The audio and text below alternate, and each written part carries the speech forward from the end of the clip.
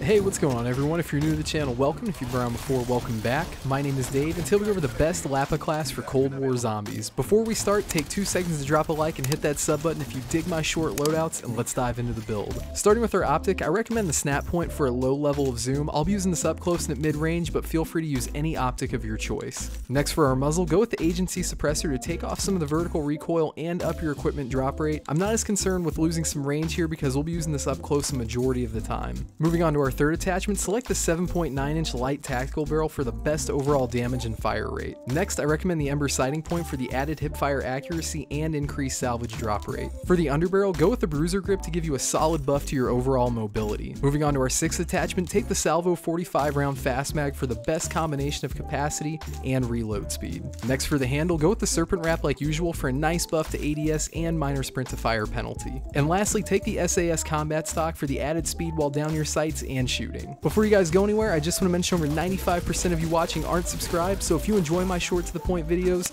please consider dropping a like and subscribing for more content. Anyway, I hope you all dig the build, and I'll see you all next time. Peace.